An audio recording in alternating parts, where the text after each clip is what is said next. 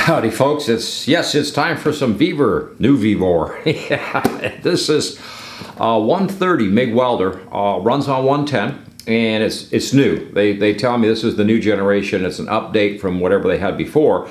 I haven't had it out of the box yet. I've opened the box and peeked inside a little bit, but we're gonna get it out on the box. As soon as we get this big box from Vevor and set it aside where we'll have more room here, we'll put everything on the bench and we'll take a quick look and then we're gonna run this bad boy.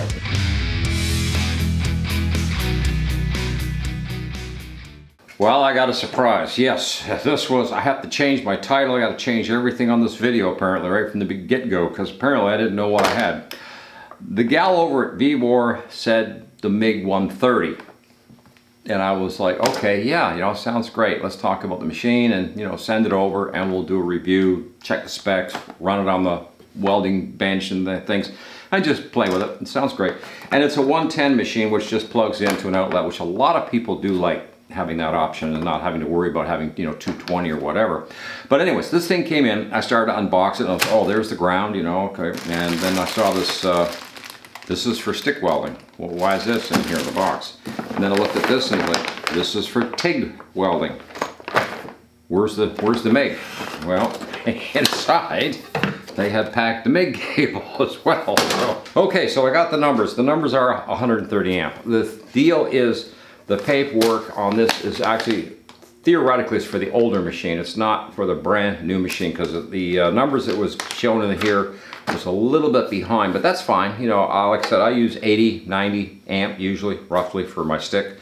And uh, the MiG, same thing, you know, running that uh, 80 amp range usually. Uh, so this is a three-in-one machine. So in other words, for a very low, very low price, you can have MiG, TIG, and stick welder all in one, three in one machine at an extremely low price. 110 volts, you can plug it in and run it without any special hookups or anything like that. So it's got a lot of great things going on for it. And I think we're going to try also, before I forget, uh, they say this one has some kind of new technology that uh, adds to the stability of the burn. So you'll have a very stable uh, welding burn when you're arcing. So we'll see we're going we're going to test and find out how good it is. yeah. But in the meantime, uh, the MiG is already hooked up and connected, which I see. But you also have positive negative over here. So this is where you could run your ground from, depending on whether you're running. If you're running flux core, which is another. Well, that's another point I better make right away. Yeah. This is going to be flux core only. This does not take gas. At least I hope it doesn't because uh, there's no gas hookup back here at all. And I, just, I had to look for that actually because I wasn't even sure. You know, I, I saw the gas thing on here. Like, Whoa, wait a minute. Oh, no. So, uh, let's get on the welding bench and let's uh, let's do a stick job, but let's uh, let's run a nice long bead. This is be the uh, this would be the first pass, I guess. Just try something and just see what we got. Uh, just turn it on. Using this button here, I have selected the stick welder. I don't hear a fan running just yet. I'm kind of curious about that, but uh, we'll find out here in a second. I guess we get hot. Let's see how we do.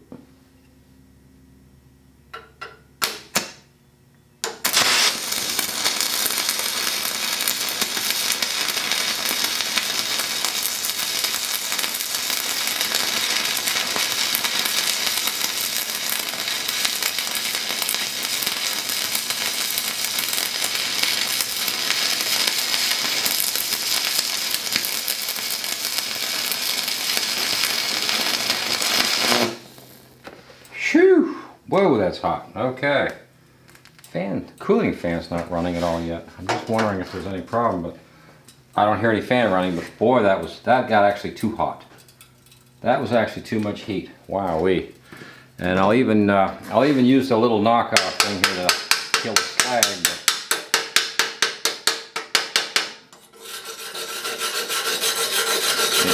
There you go. Wow. Let's see if we can get you in a really quick. Just take a quick look at that. Yeah, that's a nice steady bead. And if you're wondering which bead we're talking about, it's that nice shiny one that's uh, that's hot right there, right now. Oh yeah, I can still feel the heat coming off.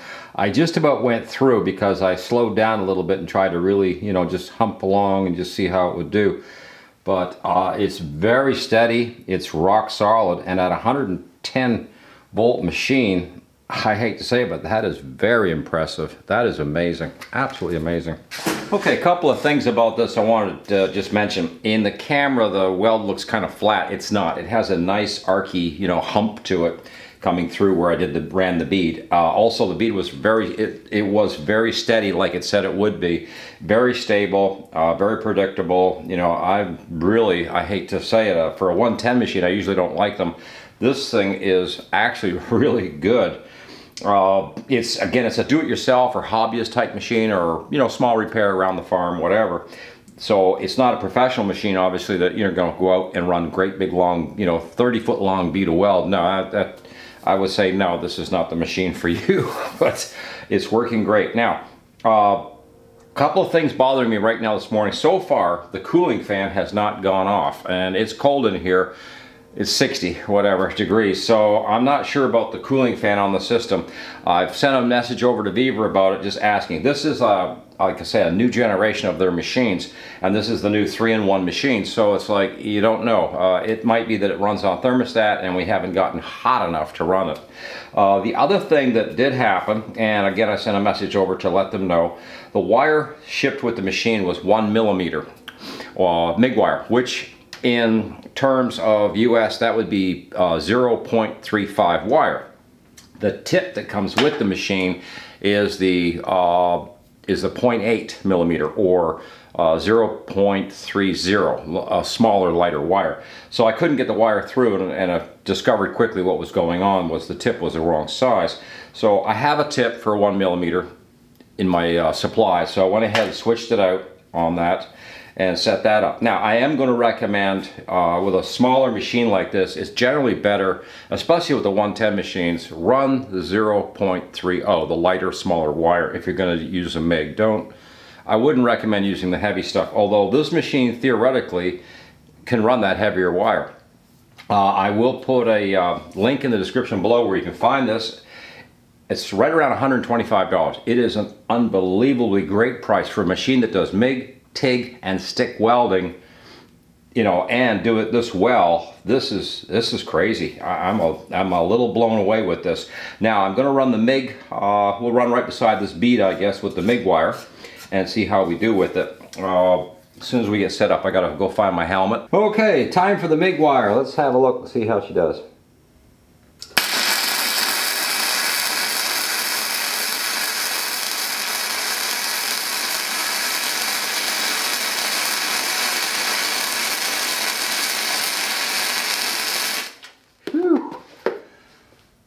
Wow.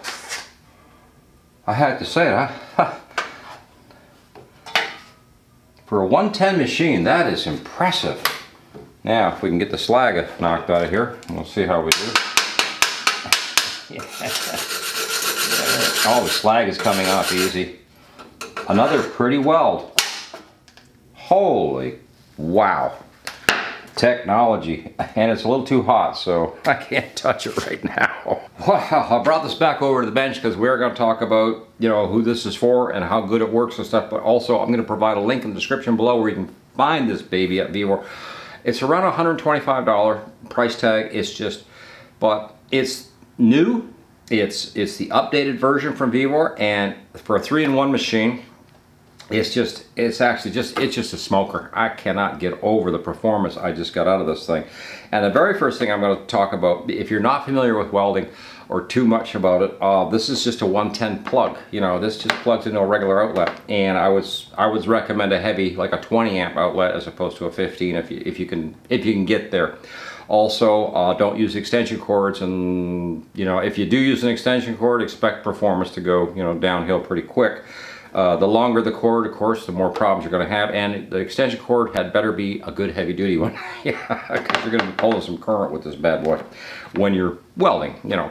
The welding side of it, let's talk about the stick for a second. Uh, again, if you're not familiar with it, that's that stick I use is a 1/8. That's a little heavy for, uh, again, a 110 machine. I'll keep referring to this 110 thing because I really did not expect the kind of performance that I saw today it was like it it it used that stick like there was like it was a 220 good heavy unit in fact I had lots of power up here I could have dialed it up or down more I probably could have dialed it down lower than what I had I had suggested running 90 amps would be you know plenty that's 80 90 is usually my my favorite there Uh, with the MIG, you probably could dial down to about 40 or something. I was at 60 and I realized after I started the burn, it was like, I've got too much heat. I could actually lower this.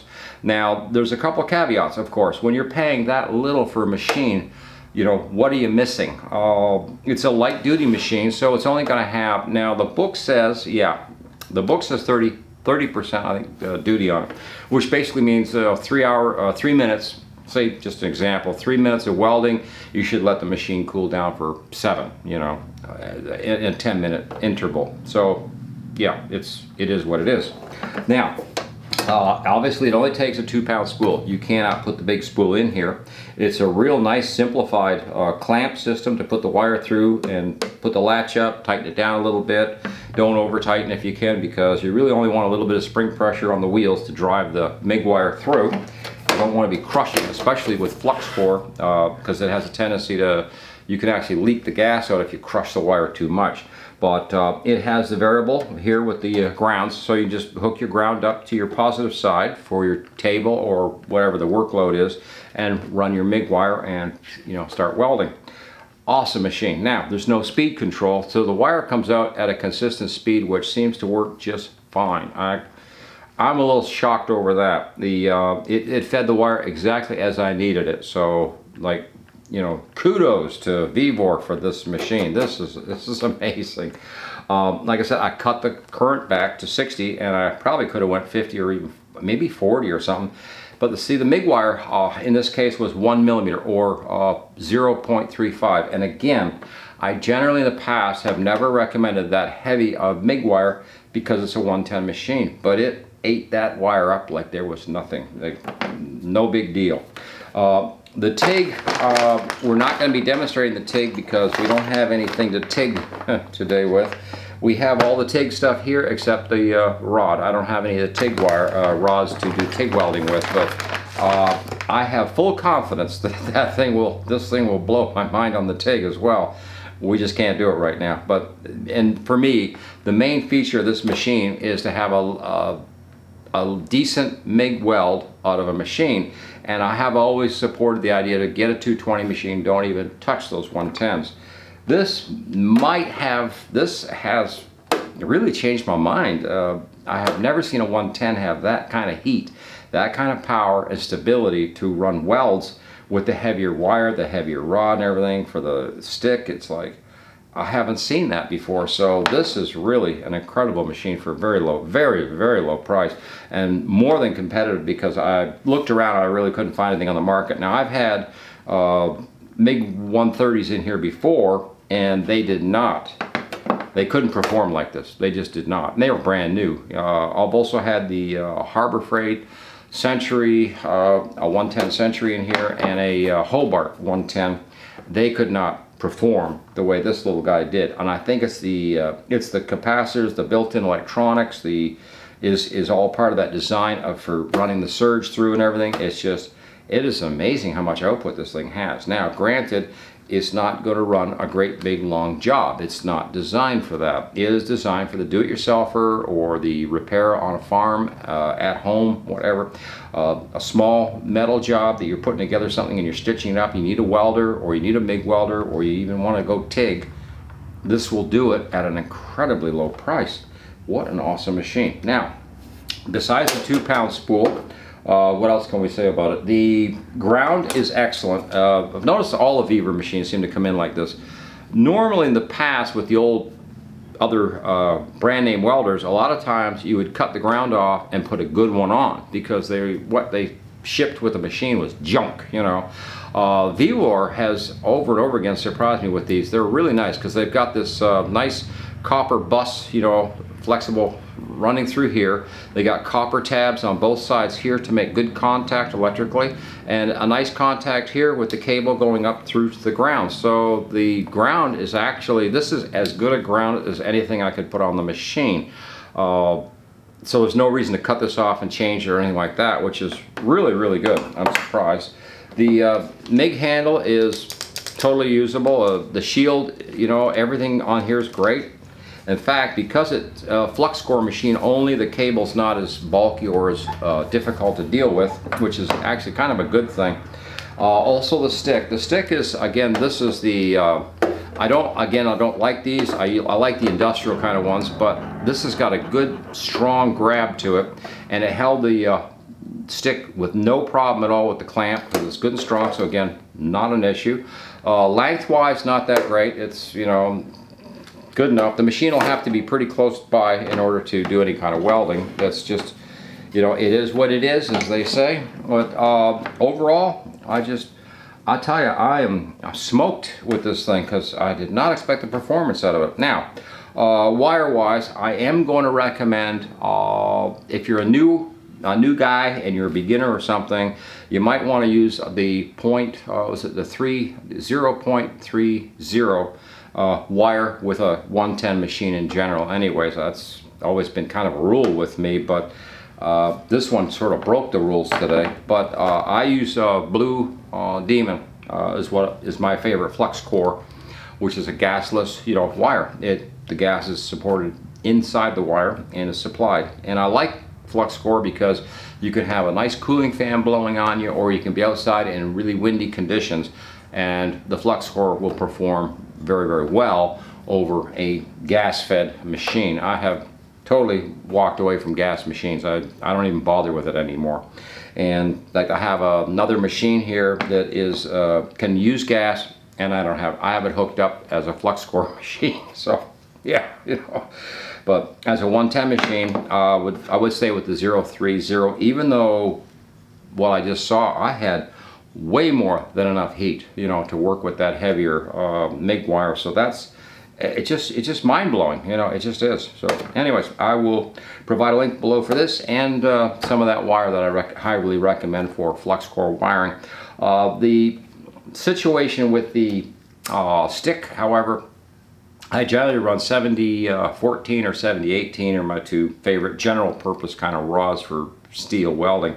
And uh, the other thing I've got here I don't have, and it's my fault, is I sort of wanted to do this. Uh, maybe sometime in the future if we get a chance we'll try it out, but I don't need to do it right now. But the if you want really pretty, beautiful looking weld, uh, a TIG does an awesome job on, on it just does it, it's a it's a pretty weld but for you guys for me you know we're, we're kind of you know rough welders uh, sometimes we have to grind the weld off and start over again because you know we're not we're not welding every day it's not our profession or something so yeah uh, stick is just fine you know and I do love the option option here of running sticks I do I I'm an old stick guy from way back. I've run stick forever. But between the price, the features, uh, and the technology, that's really what this is about. This is modern technology using uh, capacitive systems with a big coil in there. I took the machine apart and took a quick look at it, you know. But um, my big question was the cooling fan thing, and I still don't have an answer on that, so I'm not sure about that. Hopefully it's a thermostat system, and the machine just didn't even get hot enough to run that cooling fan. I'm hoping, otherwise we fried everything in there.